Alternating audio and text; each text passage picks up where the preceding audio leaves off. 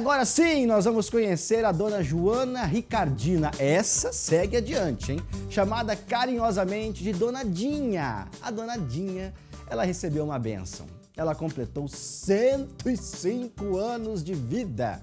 Mas a família dela, que tem cinco filhos, 20 netos, 20 bisnetos e dois tataranetos organizou uma festa. E essa festa é muito interessante, essa festa viralizou. Não, é, não foi só no Brasil, não, gente, foi no mundo. Porque a donadinha se transformou em quem? Na boneca Barbie. Barbie é a boneca mais famosa do mundo produzida pela Mattel. Já vendeu um bilhão de produtos em 150 países foi criada nos Estados Unidos e vai ganhar um filme no dia 20 de julho que promete ser muito engraçado, abordando todas as versões de Barbie.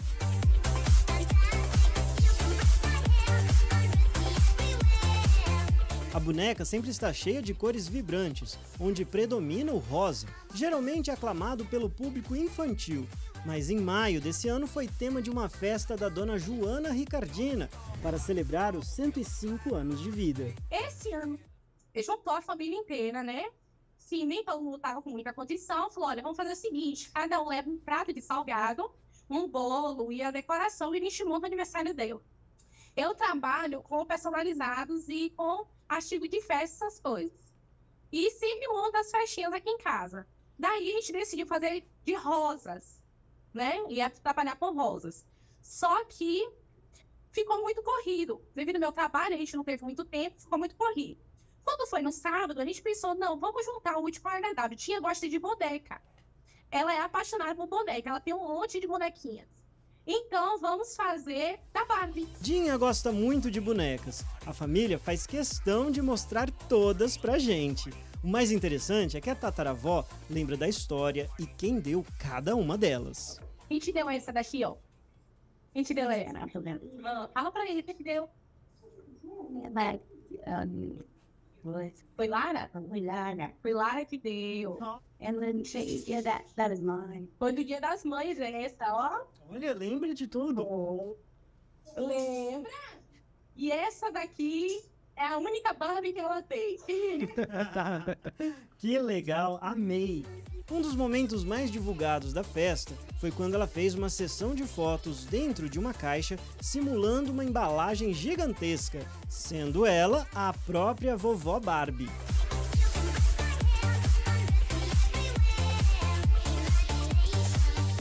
Eu peguei umas caixas de papelão, a gente formou a caixinha toda rosinha e falou: vamos fazer esse lugar aqui para dia tirar foto. E daí a gente veio pra roça, onde ela pediu o aniversário, porque ela queria muito aqui na roça. Daí a gente colocou ela dentro da caixinha e foi tirando as fotos dela e tornou ali o aniversário dela. A família é gigante: cinco filhos, 20 netos, 20 bisnetos e dois tataranetos.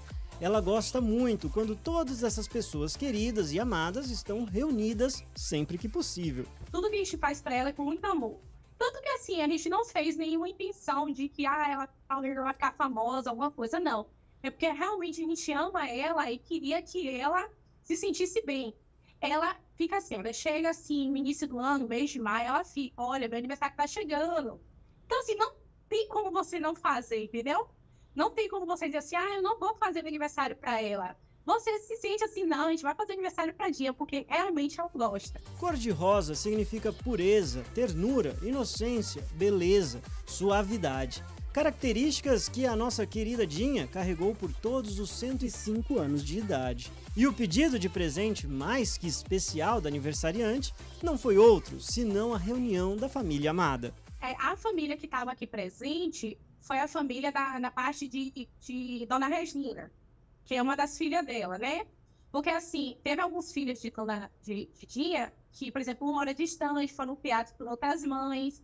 E teve um que, tipo, sumiu, né? Ele é, ficou jovem e saiu pelo mundo afora e não voltou. E tem uma filha que ela entregou que, segundo os comentários, estão em Minas. É uma filha que ela não conhece ela sabia quando era pequena mesmo, que tanto que o desejo do coração dela é rever essa filha dela.